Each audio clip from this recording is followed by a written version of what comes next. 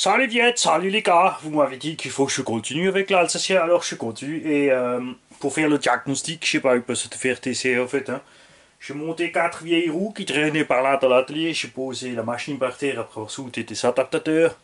J'ai fait un mètre et au plat c'est arrivé, voilà. Euh, le bruit vient clairement de l'arrière.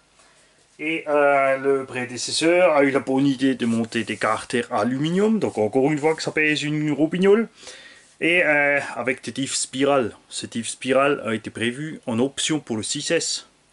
C'est pas pour le 8S. Non, non, non.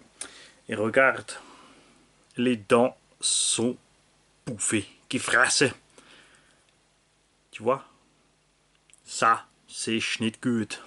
Euh, elles sont complètement arrondies. si tu regardes de côté, là, ça se verra peut-être pas à la caméra. Mais euh, de temps en temps, il y en a une au milieu, il manque un, morceau et elles sont complètement arrondies. Parce que euh, cette option, elle est pourrie. Ils sont mal calculés les angles de la spirale.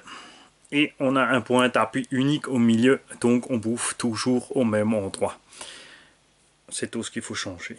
Couronne et pignon et c'est et évidemment enlever euh, toute la tonne de ferraille qu'il y a là-dessus. Il y a les skid plates avant, centrale, arrière, latérale en inox. il y a les sous-plaques Integi, il y a les quatre bras, les fusées, les chapes. Oh, c'est.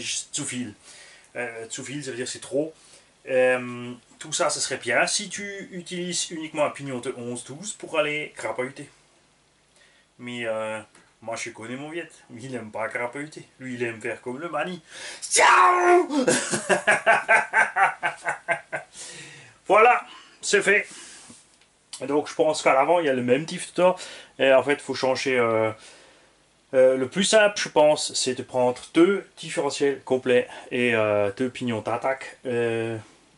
remettre quatre bras plastique, le fusil chape aluminium, on peut laisser et enlever toutes les, skid plates, das ist alles Schießtrack, äh, c'est pas la peine.